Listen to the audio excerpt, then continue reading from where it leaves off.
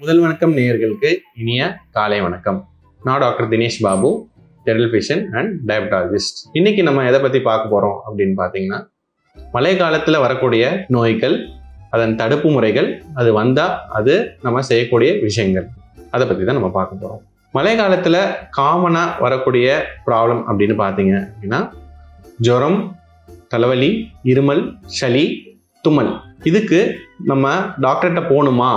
ஹாஸ்பிட்டலில் போய் ட்ரீட்மெண்ட் பண்ணணுமா அப்படின்னு கேட்டிங்கன்னா முதல் ஒரு இல்லது ரெண்டு நாட்கள் வரைக்கும் நீங்களே வீட்டில் கை வைத்தியம் அதாவது கஷாயம் குடிக்கிறது சுடு தண்ணி குடிக்கிறது உப்பு தண்ணி போட்டு கார்கிள் பண்ணுறது இந்த மாதிரி பண்ணலாம். ஆனால் ரெண்டு நாட்களை தாண்டும் போது நம்ம கண்டிப்பாக கிட்ட இருக்கக்கூடிய ஒரு டாக்டரை செக் பண்ண வேண்டும். ஏன் அப்படின்னா அவங்க பார்த்துட்டு இந்த ஒரு இன்ஃபெக்ஷன் வைரஸா பாக்டீரியா அப்படின்றத கண்டுபிடிச்சு அதுக்கு ட்ரீட்மெண்ட் அதுக்கு தகுந்த மாதிரி கொடுப்பாங்க. ஸோ வைரஸா பாக்டீரியா அப்படின்றத எப்படி கண்டுபிடிக்கலாம்னா ஒரு blood test complete blood count இது பண்ணுறது மூலமாக கண்டுபிடிக்கலாம். இது என்ன தெரியும் அப்படின்னு பார்த்தீங்கன்னா வெள்ளை அணுக்கள் அளவு கம்மியாகவோ இல்லை நார்மலாகவோ இருந்தால் அது ஒரு வைரஸ் இன்ஃபெக்ஷனாக இருக்கலாம். இதுவே வெள்ளை அணுக்கள் அதிகமாக இருந்தால் இது ஒரு பாக்டீரியல் இன்ஃபெக்ஷனாக இருக்கலாம். ஸோ அதுக்கு தகுந்த மாதிரி உங்கள் டாக்டர் அதற்கு மருந்துகள் கொடுப்பாங்க. இப்போ மூணுலேருந்து நாலு நாளைக்கு அப்புறமும் நமக்கு இந்த ஜுரம் சளி காய்ச்சல் குறையவில்லை அப்படின்னா மேற்கொண்டு ஒரு ஹாஸ்பிட்டலில் போய் என்ன மாதிரியான வைரஸ் பாக்டீரியான்னு டெஸ்ட் எடுத்து பார்க்கறது நல்லது. அவசியப்பட்டால் நம்ம அட்மிஷன் ஆகி நரம்பு வழியாக ஆன்டிபயோட்டிக் போட்டு ட்ரீட்மெண்ட் எடுக்கிறதும் அவசியமானது. அடுத்து மழை காலத்தில் வரக்கூடிய காமன் ப்ராப்ளம் என்ன அப்படின்னு பார்த்தீங்கன்னா நீர்த்தேக்கம். அதனால் இருக்கக்கூடிய கொசு தொல்லை. அதனால் வரக்கூடிய டெங்கு மலேரியா காய்ச்சல். டெங்கு காய்ச்சல் அப்படின்றது என்னன்னு பார்த்தீங்கன்னா உடம்பு வலி தலைவலி குளிர் காய்ச்சல் முதுகு வலி மூட்டு வலி பசியின்மை வாய்க்கசப்பு இது மாதிரியான உபாதைகள் இருக்கும். அதில் சளி இருமல் போன்ற தொந்தரவுகள் இருக்காது. டெங்கு காய்ச்சலில் என்ன அப்படின்னு பார்த்தீங்கன்னா முதல் மூணுலேருந்து அஞ்சு நாள் குளிர் ஜுரம் அதிகமாக இருக்கும்.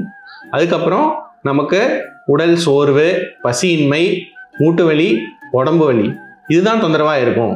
அந்த சமயம் என்ன நடக்குது அப்படின்னு பார்த்தீங்கன்னா நம்ம உடம்புல இருக்கிற தட்டணுக்கள் அப்படின்றது சொல்லக்கூடிய பிளேட்டட் அளவு குறைஞ்சிக்கிட்டு இருக்கு. ஸோ அதை நம்ம வந்துட்டு வேகமாக குறையக்கூடாது அப்படின்னு பார்த்தா உடம்புல நீர் சத்து நல்லா இருக்கணும். அதற்கு நல்லா நிறைய தண்ணி ஜூஸ் இளநீ அந்த மாதிரி எடுத்துக்கலாம். இல்லை நல்லா சாப்பிட்டா கூட போதும்.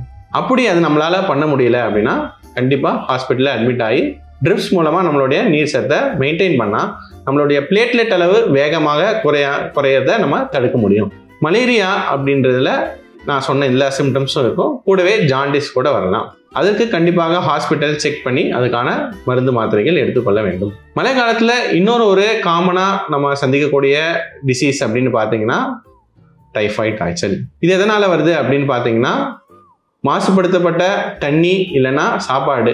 வெளியவோ இல்லை ஹோட்டல்லையோ நீங்கள் எடுத்துக்கும் போது அதுலேருந்து பரவுறது தான் டைஃபாய்டு இதில் குளிர்காய்ச்சல் நாலு நாளுக்கு மேலே இருக்கும். அது மட்டும் இல்லாமல் கால் வலி பசியின்மை வாய்க்கசப்பு லூஸ் மோஷன் வயிறு வலி இதெல்லாம் இருக்கிறதுக்கு நமக்கு வாய்ப்பு இருக்குது இது இருந்தால் கண்டிப்பாக உங்கள் டாக்டரை பார்த்து அதுக்கான ட்ரீட்மெண்ட்டை நீங்கள் எடுத்து தான் ஆகணும். இப்போ மழைக்காலத்தில் வரக்கூடிய காமன் டிசீஸை பற்றி நான் உங்களுக்கு சொன்னேன். சரி இதெல்லாம் வராமல் தடுக்கிறதுக்கு என்னெல்லாம் பண்ணணும் அப்படின்ற வழிகளும் நான் சொல்கிறேன் இப்போ நம்ம ஒரு க்ரௌடட் பிளேஸுக்கு போகிறோம் இல்லை பப்ளிக் பிளேஸ்க்கு போகிறோம் அப்படின்னா நம்ம மாஸ்க் அணிந்து கொண்டால் மற்றவங்க இருமும் போதோ தும்மும் போதோ வரக்கூடிய இன்ஃபெக்ஷன்லேருந்து நம்மளை காப்பாற்றிக்கலாம் வயதானவர்கள் வருஷத்துக்கு ஒரு முறையாவது இன்ஃப்ளூயன்ஸா இல்லைனா நியூமோகோக்கல் வேக்சின் எடுத்துக்கொண்டால் நோயுடைய வீரியத்தன்மை கம்மியாக இருக்கும்.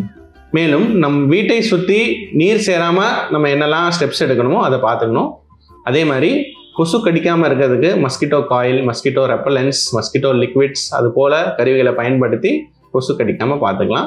வீட்டில் டோர் விண்டோ நெட்லான் போட்டு கொசு வராமல் பார்த்துக்கலாம்.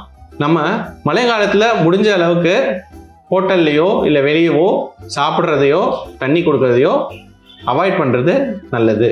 அப்படி நம்ம பப்ளிக் பிளேஸ்க்கு போயிட்டு வந்தால் கண்டிப்பாக ஹேண்ட் வாஷ் பண்ணிக்கிறது இன்னும் நல்ல ஒரு விஷயம். ஸோ இன்றைக்கி நீங்கள் என்னெல்லாம் பார்த்து பார்த்தீங்க அப்படின்னா மழை காலத்தில் வரக்கூடிய நோய்கள் மற்றும் அதன் தடுப்பு முறைகள் அண்ட் வழிமுறைகள். ஸோ இதை பற்றி தெரிஞ்சதுக்கப்புறம் இந்த முயற்சிகளை மேற்கொண்டு நோய்கள் வராமல் தடுக்கிறது தான் நல்லது. இன்னொரு அலோ டாக்டர் நிகழ்ச்சியில் வேற ஒரு டாப்பிக்கோட நான் உங்களை வந்து சந்திக்கிறேன்.